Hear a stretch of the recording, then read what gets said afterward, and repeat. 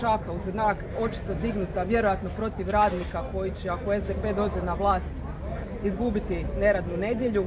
To je šaka dignuta u zrak protiv javnog dobra i pomorskog dobra kojeg SDP ne misli braniti, gdje mi Peđa Grbin doslovno rekao da ima a, znači, u svojoj osobnoj iskaznici adresu Balkane i da na Balkanama svi ljudi misle jedva čekaju da dođe hotel.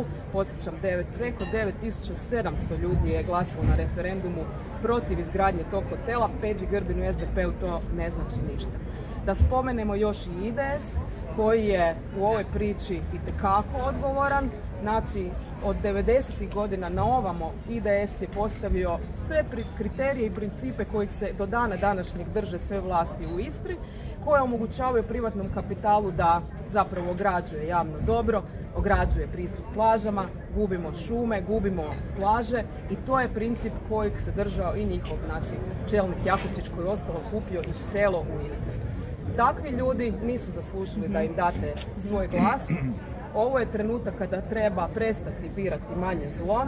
Ovo je trenutak kada treba shvatiti da su Plenković i Milanović dvije strane iste kovanice i ovo je trenutak kada trebate podržati jedinu radničku i umirovljeničku stranku u Saboru koja je bila zalog i u toj mogućoj koaliciji da se ne pogoduje privatnom kapitalu, ali da bi se zapravo došlo do promjene koja to nije uistinu je trebalo izbaciti radničku frontu.